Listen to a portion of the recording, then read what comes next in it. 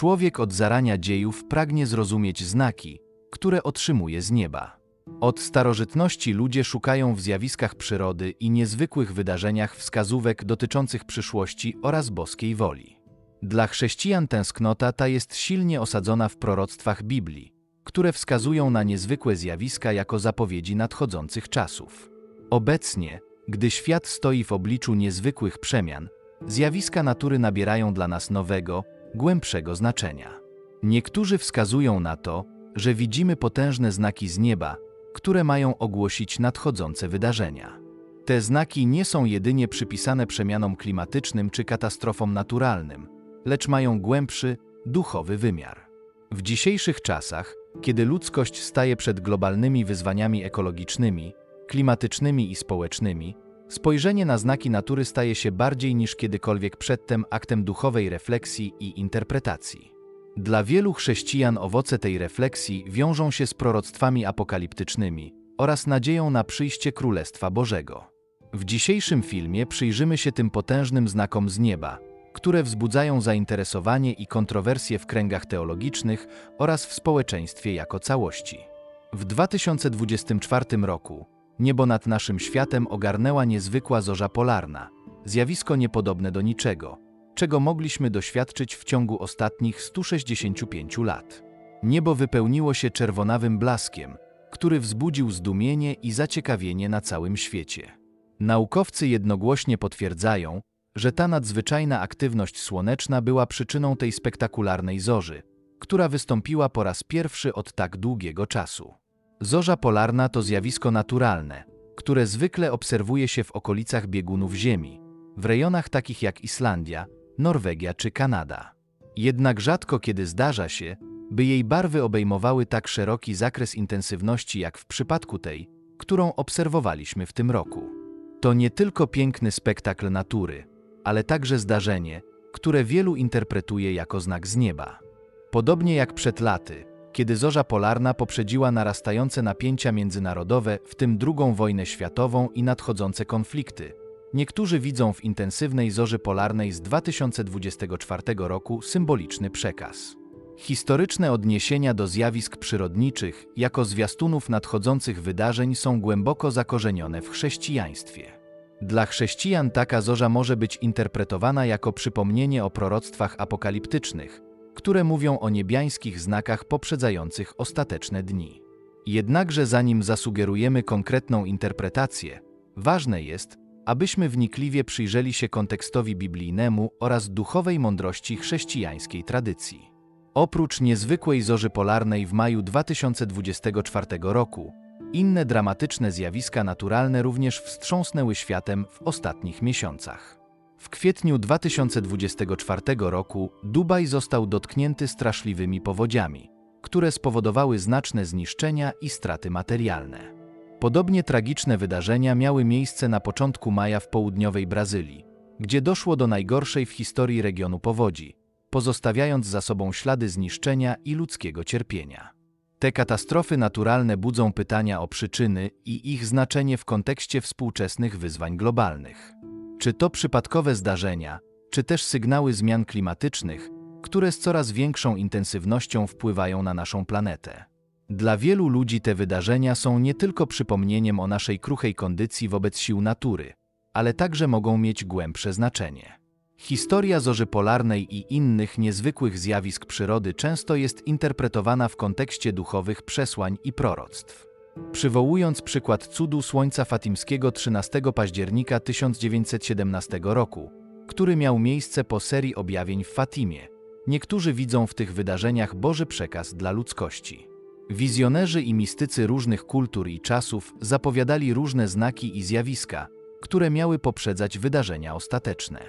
Maria Metej z wizjonerka, w lipcu 2023 roku przewidziała, że wielki ucisk poprzedzić ma szczególne zabarwienie nieba w Europie. Te wizje i przepowiednie wzbudzają refleksję nad naszym czasem i nad naszą odpowiedzialnością za przyrodę i wspólnotę ludzką. Dla chrześcijan, którzy wierzą w Boże przepowiednie i przesłania, takie wydarzenia stają się zapowiedziami i ostrzeżeniami, które wymagają głębszego rozważenia i duchowej gotowości. Jakie lekcje możemy wyciągnąć z tych wydarzeń? Jakie są nasze obowiązki wobec stworzenia Bożego i wobec siebie nawzajem, widząc znaki, które są nam przekazywane z nieba? 21 sierpnia 2017 roku w Stanach Zjednoczonych miało miejsce spektakularne zaćmienie Słońca, którego cień przeszedł przez siedem miast o nazwie Salem. Słowo Salem pochodzi od hebrajskiego słowa oznaczającego pokój, co nadało temu wydarzeniu dodatkowy wymiar symboliczny. Zaćmienie to zostało postrzegane jako przypomnienie o potrzebie pokoju i harmonii wśród ludzi. Siedem lat później, 8 kwietnia 2024 roku, kolejne zaćmienie Słońca przeszyło niebo nad Stanami Zjednoczonymi, a jego cień przebiegł przez siedem miast o nazwie Niniwa. Niniwa, stolica starożytnego imperium asyryjskiego, w Starym Testamencie była znana ze swojego zła i grzechów. Prorok Jonasz został wysłany przez Boga, aby głosił, że Niniwa zostanie zniszczona, chyba że nawróci się i odpokutuje za swoje grzechy. To zaćmienie słońca z 8 kwietnia 2024 roku zostało zinterpretowane przez niektórych jako podobne przypomnienie i wezwanie do pokuty i nawrócenia dla Stanów Zjednoczonych. W obliczu globalnych kryzysów, niesprawiedliwości społecznych i moralnych, ludzie powinni zacząć zwracać uwagę na te duchowe przesłania, które mogą być ukryte w zjawiskach natury. Czy potrafimy odczytać te znaki jako wezwanie do działania na rzecz dobra wspólnego i ochrony środowiska? Czy potrafimy zrozumieć ich przesłanie jako wezwanie do pojednania i odnowy duchowej? Przekazy natury są głosem, który dobiega do nas z nieba, przypominając nam o Bożej obecności, konieczności nawrócenia i trosce o nasze życie duchowe. La Selette, mała wioska we francuskich Alpach, stała się miejscem objawienia Matki Bożej, które miało miejsce 19 września 1846 roku. Dwoje dzieci, Maksymyn Giro i Melanie Calvat, zostało obdarzonych wizją, w której Matka Boża ukazała im dramatyczną wizję przyszłości świata. To objawienie jest jednym z najważniejszych w katolickiej tradycji, a jego przesłanie nadal pozostaje aktualne w kontekście współczesnych wyzwań. Matka Boża w Laselet mówiła: Natura żąda od ludzi zemsty. Ta mocna i niepokojąca fraza sugeruje, że zjawiska przyrody nie są jedynie przypadkowymi zdarzeniami, ale mają głębsze duchowe znaczenie i są odpowiedzią na ludzkie grzechy i zaniedbania. W tej wizji widzimy, jak natura, rozumiana jako stworzony przez Boga świat, staje się narzędziem Bożej sprawiedliwości i przypomnienia o moralnych obowiązkach ludzkości. W objawieniach w Laselet Matka Boża mówiła również: Wiele klasztorów nie jest już domami bożymi, ale pastwiskami Asmodeusza i jego ludu. Ta alegoryczna fraza odnosi się do stanu duchowego upadku w Kościele, wskazując na to, że niektóre miejsca, które powinny być ośrodkami świętości i modlitwy, stały się arenami grzechu i moralnej korupcji. Matka Boża mówi również, że pory roku ulegną zmianie i ziemia będzie wydawać tylko złe owoce. Ta wizja zapowiada przewrotność natury jako skutek ludzkiego zepsucia i grzechu. Zmiana pór roku, symbolizująca zmienność i chaos, a także złe owoce ziemi, odnosi się do konsekwencji grzechów ludzkości, które prowadzą do utraty harmonii w stworzeniu Bożym. Objawienia w Laselet są głęboko związane z ideą, że natura i porządek stworzenia są w bezpośrednim związku z duchowym stanem ludzkości. To przesłanie wzywa nas do refleksji nad naszymi działaniami i wyborami, które wpływają na środowisko oraz na moralny stan naszego świata.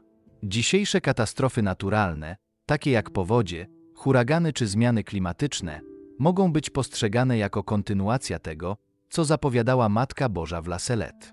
Kiedy przyglądamy się tragediom takich jak powodzie w Dubaju i południowej Brazylii, czy też intensywna zorza polarna w maju 2024 roku, dostrzegamy w nich nie tylko skutki zmian klimatycznych, ale także możliwe duchowe ostrzeżenia.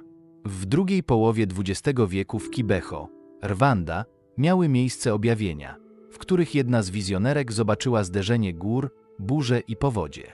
Otrzymała przesłanie, że te katastrofy są wynikiem ludzkich działań i już się zbliżają.